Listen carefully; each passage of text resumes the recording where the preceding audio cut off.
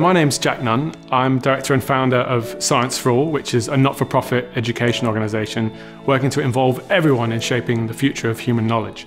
I think there's a lot of confusion in the world between what we know and how we know it. So science being what we know and the scientific method being how we found that out.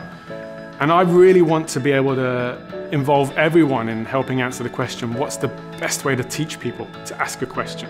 Something I want everyone to understand is that whoever you are, wherever you are, anyone can ask a question. And asking a question is the most powerful thing anyone can do. Well, I started Science for All in 2018, and it was after the success of a, a, project called Campfires in Science, where we were getting local people out into the forest to understand a little bit about the wilderness around them. But not just to tell them the answers, but to get them around a campfire to share knowledge, but also to teach people how to ask a question. So, what's out here? What's the best way to manage this? You know, what, what do we want? And, and what don't we know? And how can we actually find out what we don't know?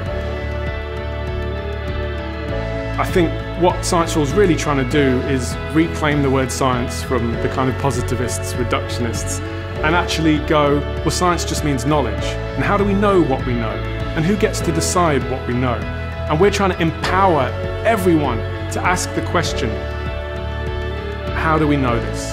Why do we know this? And what else do we need to know? So we do that in practical ways. For example, we've taught people to look for critically endangered species using DNA testing in the wild. And we've got many other projects as well. And the main principle of what we're trying to do is teach people how to ask a question, not just give people the answers.